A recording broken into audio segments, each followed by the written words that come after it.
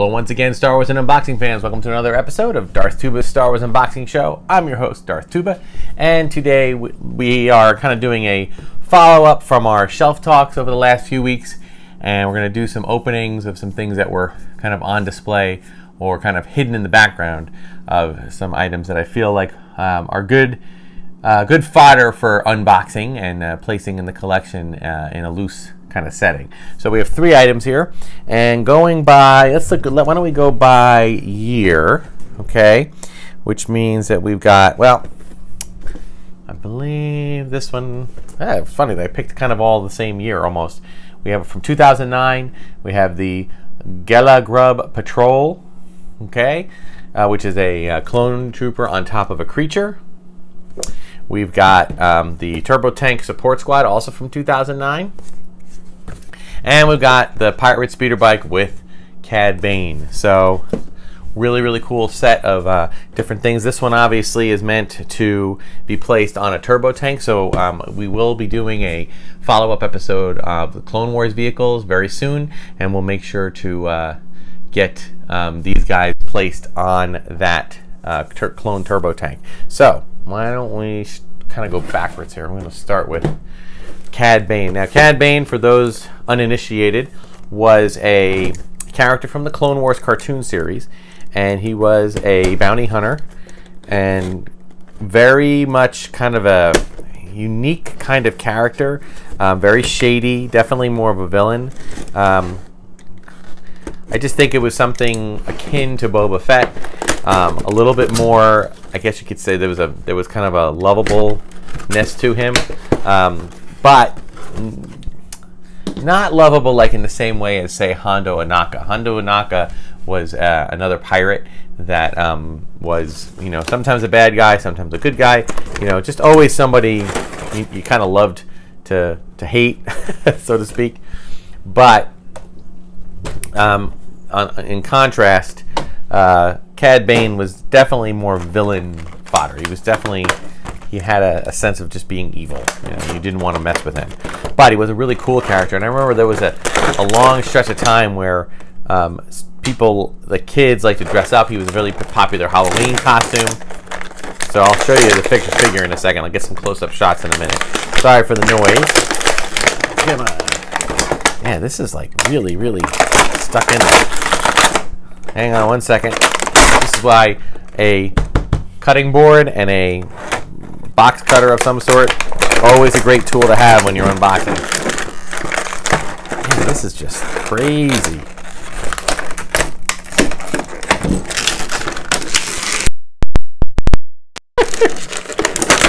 All right, there we go. But you also this, the speeder was very unique, very unique to this um, particular toy, and did not ever really come out again. I, I think that's kind of one of my one of my interesting um, loves for the Clone Wars time period. Um, I guess this could also tie into one of the Clone Wars, um, to our Clone Wars kind of retrospective of the vehicles. The thing that I really enjoyed about this was that they made a lot of characters, and these are three examples of characters and or vehicles or weapons, weaponry that they made one time and then they never made them again. They just, you know, they they made the sculpts, they made the the molds, they made everything that they needed, and then they produced them. They lasted a year or so, maybe a little less, and then you never really saw them again because they were only featured usually in one episode, maybe maybe more than one. Um, this is kind of an old school, coming with a ooh, comes with a nice little catalog, but it looks like it might be a poster. I don't know. Let's look. Oh no, just a just a two-sided, excuse me, two-sided little imagery. Looks like a, kind of an action figure shot. I'll get a close-up of, of it. Um, one is featuring an, an, Empire Strikes Back scene, and the other features a, uh, um, a Clone War scene. So that's kind of cool. A little different. All right, so Cad Bane. Now, to take, to take a look at him, he definitely has a Western. You know, they've always said that Star Wars was influenced a lot by the Old West. Well, they um, were pretty much on point with that when they did this. Um, so another nice thing about this is it comes with a built like a little stand. And uh, I got to say, one area where Hasbro kind of hits or mitts is the they you know all the figures pretty much have holes in their the bottoms of their shoes, and those holes correspond with sometimes play sets or sometimes stands where they can actually put the figure on a stand and make the figure easy to pose. You can do all sorts of you know different things, whatever you want. Okay, and it works pretty well. Well, and this one is a real strong hit. Like, look, if you can do this, okay, if you can actually hang the figure upside down from it, this stand does really well. It says Star Wars on it. Um, they've had all different types of stands, and you could also buy third-party companies stands, but they never all seem to work for everybody. So this happens to work well for Cad Bane. Um, unfortunately, I don't want him on the stand. I want him on the speeder bike, so or the speeder. I shouldn't say speeder bike. It's funny, like they they talk about speeders, and they they mention it. You know, like there have been different things. The original we all know from Empire from Return of the Jedi, excuse me, was the speeder bike. That was the original, and that was what that came out with the biker scouts, and it was they were on Endor, and it was really cool. And then since then, in, in either book form or video game form or other kind of forms, they um, came up with other things like swoop bikes or speeders or that kind of thing. So here we have like what's nice about this is that he has um he has two pistols again like kind of like two sidearms that he can like that.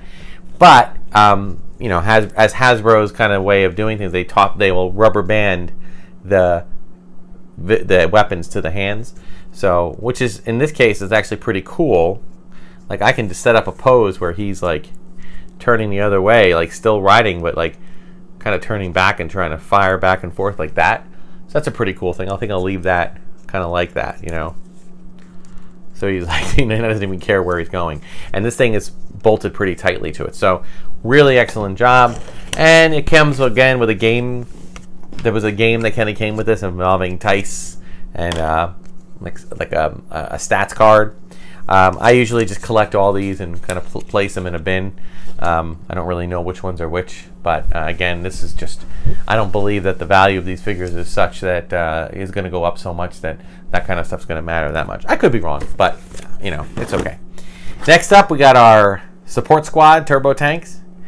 Okay, two clones, two tanks, kind of kind of set up in a very symmetrical way. That's cool. Um, and speaking of Clone Wars, you know, this is a kind of, I guess this is an unboxing, and it's also a uh, kind of a, a follow-up on my Clone Wars perspective uh, or retrospective. I will say that I'm going to only do one more episode on the uh, Clone Wars, not because I've got shown every vehicle. I've shown most of the vehicles, but there are still a handful that I haven't gotten to. I'm going to bring out the big guns. I'm going to bring out the Clone Turbo Tank and the other uh, the other tank or, or you know the MT a or MTT vehicle. I have to look it up. Um, I'll show those two, and if there's any a couple other smaller ones, I'll do that. So um, that's important to be aware of because there's just so much going on here. Um, and I got other ideas. We're getting into the we're getting once we hit May, we're into that the literal 20th anniversary of Phantom Menace, and I want to do some stuff with that as well. All right, this comes again with a nice little catalog. Um, you can see it's got some just figures, some starfighters some action figures, pretty cool stuff. All right, so need to have that. The uh, backdrops on these were pretty cool too. I believe that this particular scene, I think it's Felucia. I think it's where uh, the clones, if the, you know, spoiler alert, it's where the clones uh, kind of turned on uh, and when they did their Order 66, that flowery kind of planet. But they did revisit that in um, the Clone Wars TV show. For those who don't know, obviously the Clone Wars TV show does take place prior to the events of Episode 3, which means they take place prior to um, Order 66. And the thing is that when you watch it, you know, as a kid, it's funny, you know, because uh, my fam, my wife and I, we, we were both teachers, and I teach older students, and she teaches younger students. So for a long time, the students that she was teaching were totally hooked on this show. And they talk about it and because you know she's married to me she had a lot of through marriage she had a lot of information that she could share with them about this about stuff. And you know they they love the show. They love the show. But their heroes their heroes were Anakin Skywalker. You know, yes, their heroes were also Obi Wan Kenobi and R2, but their heroes were Anakin Skywalker, Captain Rex, Obi Wan Kenobi, Captain Cody, and I was thinking to myself, like at the time, I was, was kind of thinking to myself, my goodness, this is a this is a dangerous thing. I mean, these kids are they're worshiping these guys like like heroes, you know, like and and I don't know what's going to happen with Rex at that time. I didn't know what was going to happen with Rex, but I did know that when it came to Cody, I mean, the minute the minute that uh, Emperor Palpatine, spoiler alert again, the minute Emperor Palpatine said execute Order 66, what did Cody do? He just looked up. He told his he told his clone troopers to fire on Obi Wan. This is a, he was just joking and joshing with them a second ago, and then boom, just go. And it was so gut wrenching to watch. I just I, I was I couldn't even believe it. So to uh, to see you know several episodes like you know like generally speaking like five years of episodes where these clones were considered the hero. Ooh, I just accidentally launched my missile there. I always do that. Um, to see that over and over and over again, it, you know, week after week, I was thinking, oh my God, these guys are going to turn. They're all going to turn on the Jedi. And yet they're all laughing and joking around and they're like being like everything's great. And I just thought that was a scary thing. So, and, and, and for kids, you know, how are they going to react to it? But, you know, I think I give, I didn't give kids enough credit. They handled it fine. By the time they were old enough to, um, you know, to truly understand it, they were mature enough to handle it. So, and some of them did see, you know, they did see uh, episode three before this. It's just that, you know, after a few years of it being on, the kids were too young to have seen episode three. So, their their introduction to Star Wars was Clone Wars. So you got to be careful there. So, but I liked it. Thought it was cool. And these guys are pretty cool. They they pretty much just this one's having a little hard time hanging on to the to the actual uh, gun. Excuse me. Now, one little complaint I have, and it's not a big thing. It's not a big deal. It's not really a. Not worthy of an actual complaint, but I'm just going to say it anyway, just because everybody can improve on something. Well, aside from the fact that this guy's not not really holding on to his guns very well. the other thing I want to say is these guys both come with two other weapons. They come with like large scale rifles and smaller ones. And as much as I like that, and I think that's great, I kind of feel like that's just weapons that are designed to get lost. Because let's face it, these guys already have the biggest gun in the collection. So all I would have asked is that, and in and I will say that some of the newer, this is ten years ago, some of the newer, um, some of the newer Star Wars collection figures do this. They put in the, the ability to lay one of the guns on the side of the leg and like snap it in as if it's like holstered or you know maybe there was a way to put it on the side of the of the gun itself just so you wouldn't lose it or you get an option or an ability to try not to lose it but they didn't do that here so sorry to say that that's my only complaint otherwise i mean as obviously we've talked about this the the figures definitely have a, um, a more streamlined look and maybe that's part of the reason for the because of the way the clone wars was designed they were trying to match the the look of the show which had a definite certain stylized look, not the same as in, in uh, live action. So that's okay. Now we have. What else do we have here? Oh, we have another catalog. Ah, I miss the days of catalogs. These are some great ones. Just really cool, um, really cool looks to it. There's even a spot the difference. They show like two images of the same um, picture and they said, you know, pick out the differences. So it's almost like a mini activity book and a little checklist. Nice stuff. I miss those days. All right, so we have the Gelagrub, Gelagrub, which, ooh, it's kind of slimy feeling. Okay, cool. Um, one, again, a figure that you didn't really see, the creature, I should say, was not in the movies. Um, it was in the Clone Wars TV show, and although the style of the action figure looks more like it is live action and not. So maybe it was in the movie, but in the but kind of off to the side or something, like a mini rig. If y'all remember those, I miss mini rigs. anyway, so some good old, old, good old fashioned, uh, old school way of uh, aligning the figures. So I have to kind of cut all the tape. Ay, ay, ay.